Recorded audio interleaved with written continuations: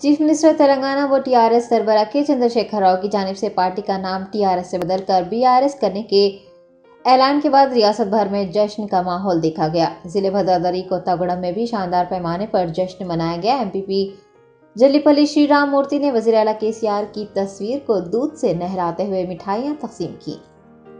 तफसलात के मुताबिक एमपीपी ने अशफारावपेट टाउन में रिंग रोड सेंटर पर तेलंगाना तली के मुजस्मे पर फूल चढ़ाए और केसीआर की तस्वीर को दूध से नहलाया। इस मौके पर आतिशबाजी करते हुए जश्न मनाया गया। एमपीपी ने कहा कि भारत राष्ट्र समिति का क़्याम तेलंगाना का झंडा दहली में लहराने के अज़म के साथ अमल में लाया गया है।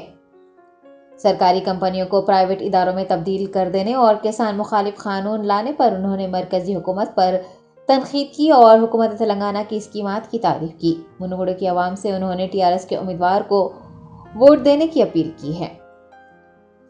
इस जश्न में अश्वरावपेट टाउन सदर संपूर्णा सेक्रेटरी फनिंद्रा मलाईगुडम के सरपंच नारम राजशेखर, डिप्टी सरपंच केदारनाथ, मंडल लीडर्स व दीगर ने शिरकत की।